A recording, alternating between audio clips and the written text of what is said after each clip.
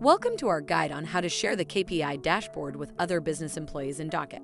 Let's begin. First, log into your Docyt account and click Dashboard on the main menu. To access multiple dashboards, click the drop-down arrow as depicted in the image below. This will display all available dashboards, allowing you to choose the one you wish to share. To share a dashboard, the business admin can click the Share Dashboard button, highlighted in blue, on the specific dashboard they want to share. When you click the Share Dashboard button, a search bar and list will appear. This allows you to easily search for a business employee by their name or email and add them to the specific dashboard. Once you've found the employee you're looking for, simply select them and click Done to add them to the dashboard. To remove an employee from the dashboard, first, click on the Share Dashboard button and locate the employee's name. Next, click on the Remove link next to their name. Finally, press the Done button to complete the removal process. And there you have it. You have successfully learned how to share the KPI dashboard with other employees in Docyt. Thanks for watching this video. Check out our How to Videos playlist to watch more videos like this